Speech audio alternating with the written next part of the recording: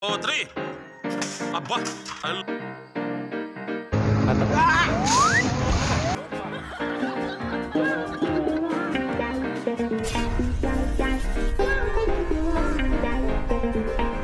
What's up, what's up mga idol? Ayan o. Ngayon may waging salamin namin yan.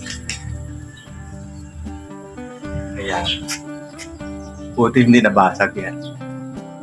May bumangga dyan mga idol na bird. Ayan, dito siya bumagsak. Yung tatawag nating mambang. Ayan, ito. Yan. Bumangga siya dito sa salamin. So, nagkaroon tayo ng pangulam. Bird. Pangulam mga idol. Pagdating natin ay bagsak na.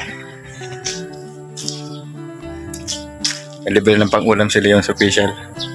Makain tayo ng ano, mga exotic foods.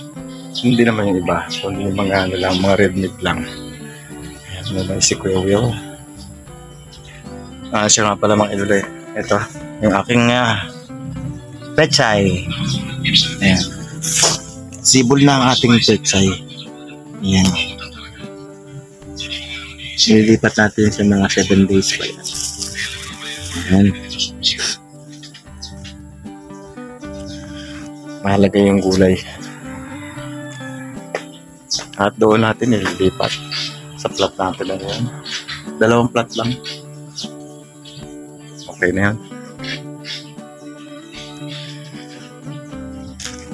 Update lang tayo mga idol sa umagang kita.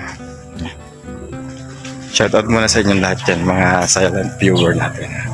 Sa mga friends natin sa sa YouTube. Yan, good morning, good morning sa inyong lahat. At syempre, wala tayong pangulam kanina, kaya papasalamat tayo sa ulam. Binigyan tayo ng ulam ni Lord. wala pambili eh. Ito naman. Ibon. Ayan. So, yan mga idol, ah, niluto na natin yung bird. Ayan. Ihaw lang yan. Ayan. Oh, di ba?